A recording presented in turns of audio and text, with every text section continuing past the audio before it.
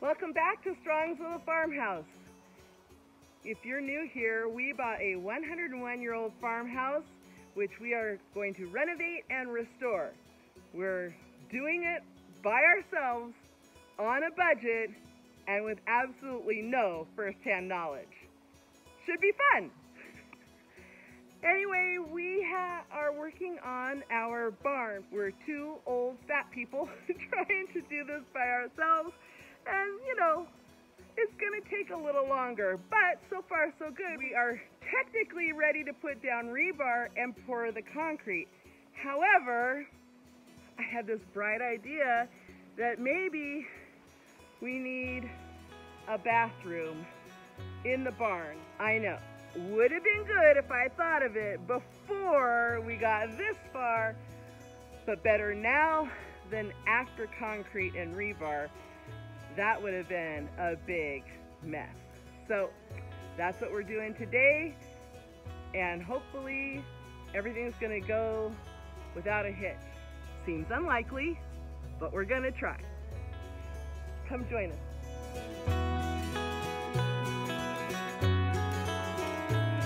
That's what we're going to do today is we are going to mark out on the gravel with spray paint and my floor plan for where that toilet's gonna go, we have to actually dig out a tunnel under the form uh, to put to lay some four inch pipe for the future toilet and water line. Well, it's a good thing we got those lines marked out first thing this morning because as you can see, it has started raining again. As soon as this rain clears up, we'll get right back at it and pick up where we left off. Our next step on the pad is actually to lay the rebar and pour, but we are now digging out for plumbing. We may or may not ever put the plumbing in, but it's always good. If we ever sell this property, then somebody else also has the ability to do it down the road. So it just makes good common sense to put that capability in now.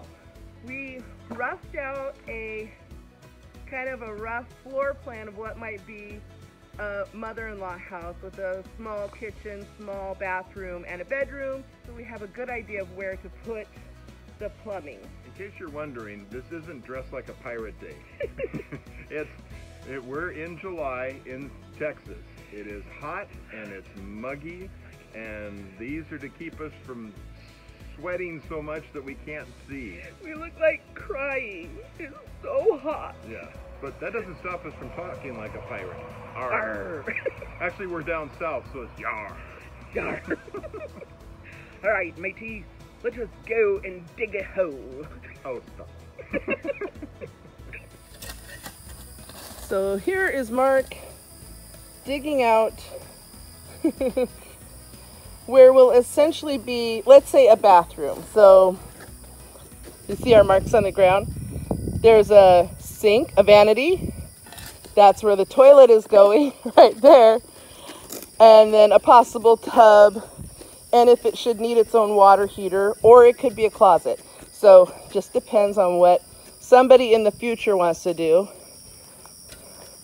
Over here would be a small little kitchen stove, sink, closet for a washer dryer, and then right along here, this corner would be the front door. And that also leaves two nice size, kind of smallish, it's not so small. This is would be a 12 by 12 bedroom with closet and a small 8 by 12 small bedroom or office. So that's sort of the idea. We are going to put a couple of these walls in just for support of the building, but otherwise we're just uh, putting in the basics. Right, Mark?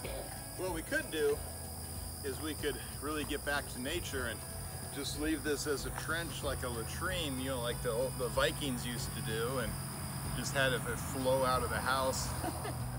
no.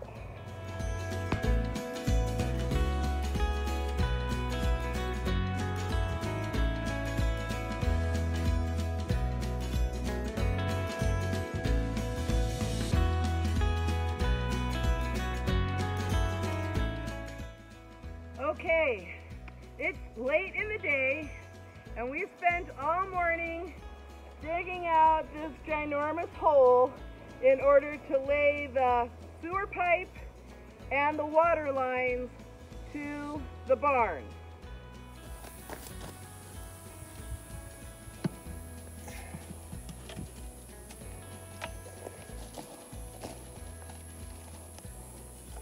Okay. This is gonna have to go clear over here. Well, the good news is I don't think we have to dig anything out.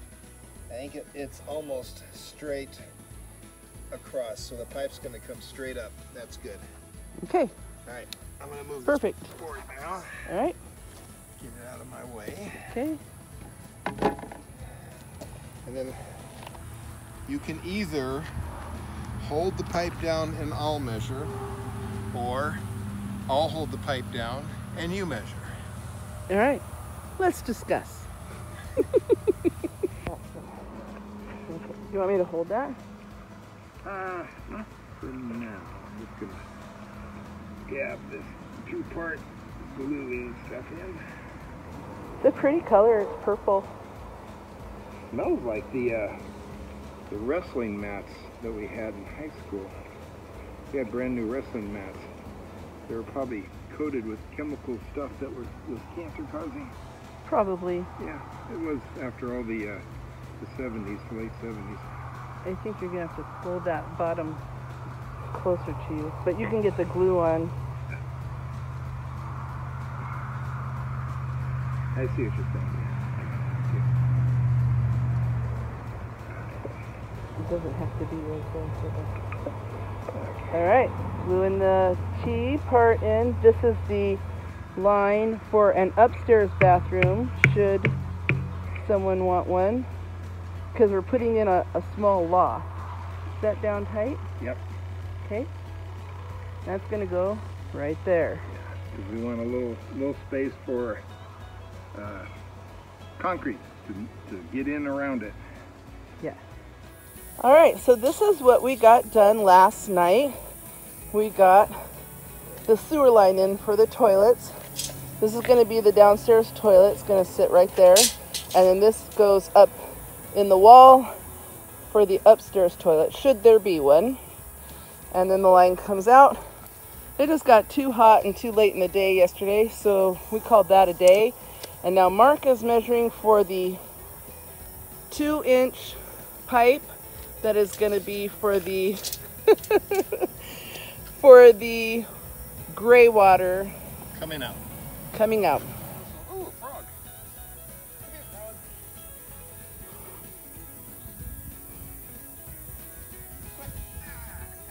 Did you get him? Got him. He's going to jump out. Oh, let's see. Oh, look at the cute frog.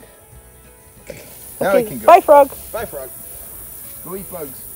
Anyway, Please, um, mosquitoes. as I was saying, squirrel, No, frog. frog. The fresh water, we're gonna tie into the fresh water in the house, come underground up into here to provide fresh water for this building. That's the plan. We'll see if Should it all work out? Should it all work out? And not today. That won't happen today. No, that's, that's, not way gonna happen today. way down the road. Way, down. Way down. Way down the road. In fact, it's so far down the road, it may never happen. May But never happen. Anyway, so I'm gonna go cut some pipe. Okay.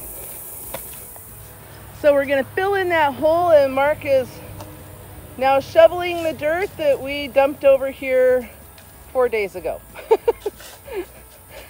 oh my gosh, how many times do you think we've moved that four cubic feet of dirt? Too many. We piled it up from the ground with the bulldozer or the front end loader. Then we moved it around to flatten it out inside the pad. Then we realized it was too high, so we had to dig it out and dump it over here. And now we're taking it back to fill that hole. Well, at least we got the dirt to work with. That's true. We didn't have to buy dirt. Nobody wants to buy dirt. Okay. Good job, babes.